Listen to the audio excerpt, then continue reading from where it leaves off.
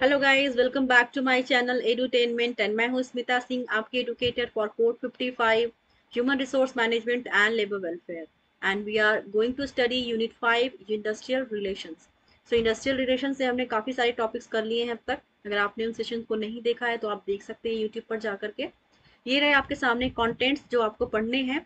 इन contents में हमने evolution of industrial relations की बात की, हम पढ़ रहे थे, जिसमें हमने देखा concept definitions of industrial relations.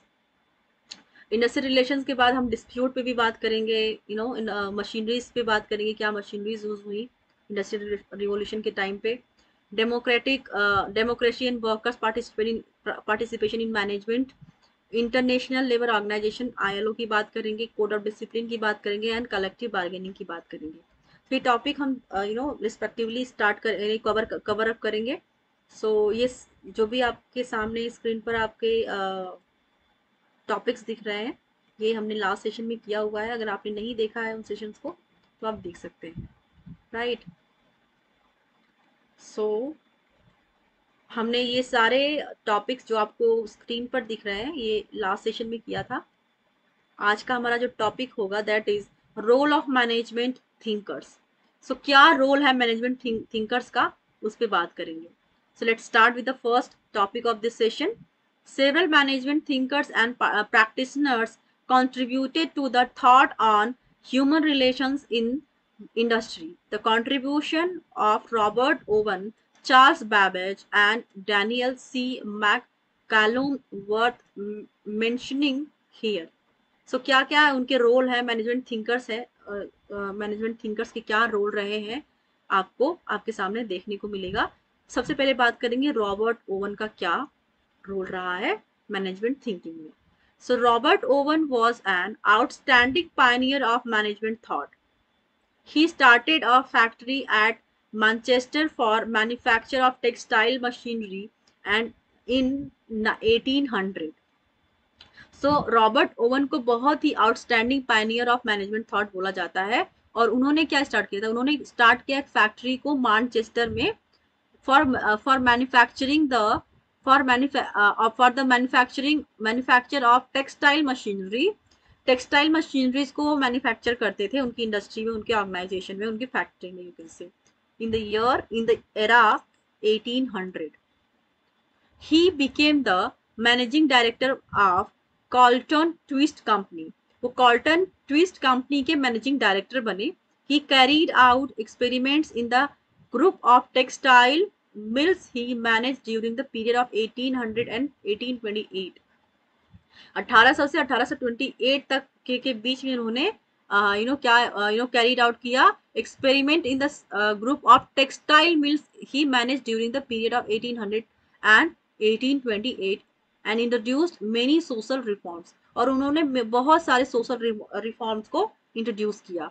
He also begin cooperative movement in 1828 in in Rochet Rochdale England England में उन्होंने रॉचडेल नाम का जो मूवमेंट था उस उस कॉपरेशन में उन्होंने यू नो भाग लिया। Robert Owen has been referred to as the father of personal management Robert Owen को फादर ऑफ़ पर्सनल मैनेजमेंट भी कहा जाता है। सो so, अगर आपको क्वेश्चन पूछा था पूछता है कि Robert like who is the you know father of personal management you can answer that Robert Owen is known as you know father of personal management right throughout his life he worked for building up of a spirit of cooperation between the workers and management so unke pure life ka jo span tha unhone kya kiya build kiya spirit of cooperation between workers and management so unka kya thought tha ki management aur workers ke beech mein employers and employees के बीच में एक cooperation होना चाहिए बिना because बिना cooperation के कोई भी चीज़ पॉसिबल नहीं है right he also took active part in the introduction of British Factory Act 1819 उनका जो एक मेन रोल था फैक्ट्रीज एक्ट में you know of British Factory Act 1819 जो जो ब्रिटिश फैक्ट्री एक्ट 1819 था, उसमें भी उनका बहुत ज़्यादा, बहुत अच्छा इवन एक्टिव रोल था. He was greatly admired for giving human treatment to the workers उनको किस नाम से जाना, किस वजह से जाना जाता है? क्योंकि उन्होंने ह्यूमन को ह्यूमन की तरह समझा। ह्यूमन को उन्होंने बहुत ही अच्छे तरीके से ट्रीट किया। ये नहीं है कि ऑर्गेनाइजेशन में काम करने वाला इंसान इंसान नहीं है। इंडिविजुअल पर्सन उसकी कोई वैल्यू नहीं है। वो काम किया नौ घंटे या दस घंटे या बारह घंटे आया, किया और चला गया। उसके बदले में उसको सैलरी दे दी गई। नहीं। उनका उनका जो मेन फोकस था यू नो एम्प्लॉयज़ पे था कि जो एक ह्यूमन बीइंग ऑर्गेनाइजेशन में काम कर रहा है, उसको, उसके लिए अच्छा सोचा जाना चाहिए। उसके वेलफेयर की बात की जानी चाहिए। राइट? उनके साथ अच्छा ट्रीट किया जाना चाहिए तो वो इन चीज़ों के लिए जाने जाते हैं। Robert Owen. He that personal management pays div, dividends to the employees, employers, and is an essential part of every manager's job. So, उन्होंने क्या कहा, उन्होंने क्या उपदेश किया, दिया कि पर्सनल मैनेजमेंट क्या करता है? Pays dividends to the employers जो पर्सनल मैनेजमेंट है, उससे क्या होता है कि जो एम्प्लॉयर्स हैं, उनको लाभ मिलता है पर्सनल मैनेजमेंट से। चीज़ें अगर मैनेज है सिस्टमेटिक वे में तो उससे क्या है? ऑटोमेटिकली मैनेजमेंट को ही फ़ायदा होने वाला है। And is an essential part of every manager's job और ये एक बहुत ही इंपॉर्टेंट पार्ट होता है हर यू नो जॉब करने वाले पर्सन को, के लिए। जो पर्सन किसी भी ऑर्गेनाइजेशन में एक मैनेजर लेवल पे काम कर रहा है तो उसके लिए ये बहुत ज़रूरी है। राइट सो नेक्स्ट देखेंगे। चार्ल्स बैबेज ने क्या कहा?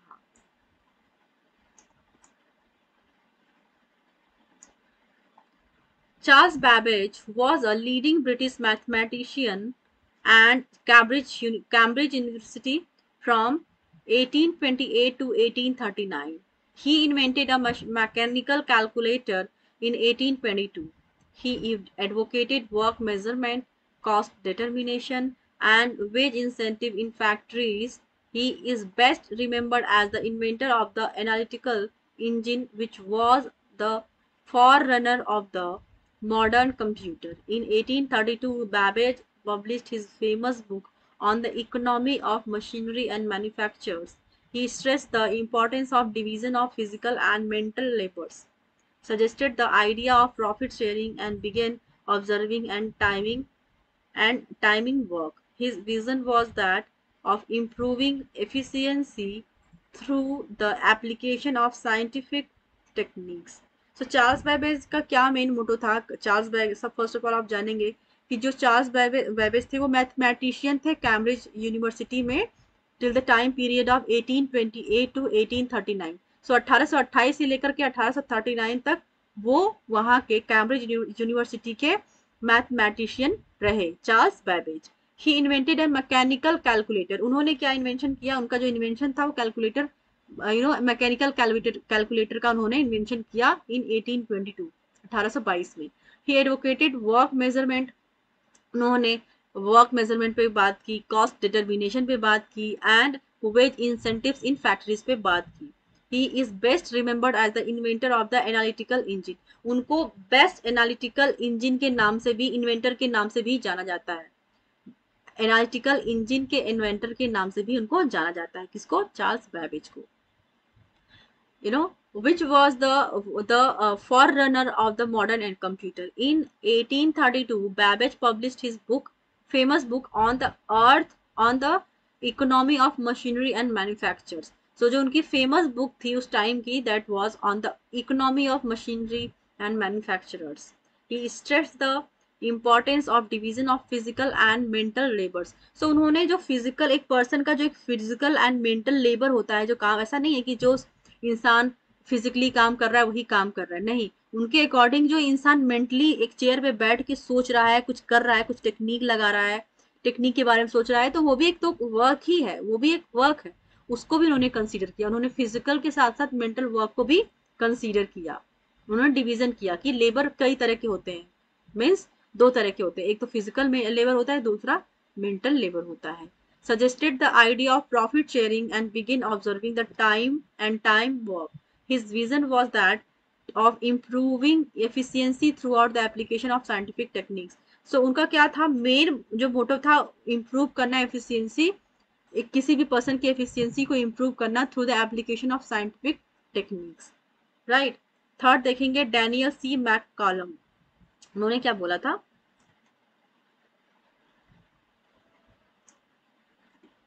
That is, Daniel C. McCallum tried to find solutions to managerial inefficiencies which were plaguing the railroads at that time. His approach to run the railroad was one of the system com uh, commonness, reports, and control. He initiated job description, made promotions on the basis of merit, and insisted that those in of a specific operation were both responsible and accountable for their success and failures. So, जो Daniel C मैकली McCallum थे, उनका क्या focus था कि किसी भी कोई भी पर्सन एक्स वाई जेड किसी भी ऑर्गेनाइजेशन में अगर काम कर रहा है तो उसके काम को अप्रिसिएट किया जाना चाहिए। अगर वो अच्छा करता है तो अच्छे के लिए भी जाना जाना चाहिए और बुरा कर रहा है तो बुरे के लिए भी।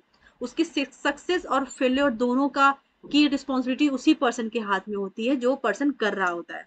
एक इंडिविजुअल के हाथ में ही उसकी सक्सेस और उसके फेल्योर की चाबी होती है और वही उसके लिए अकाउंटेबल होना चाहिए। Right right?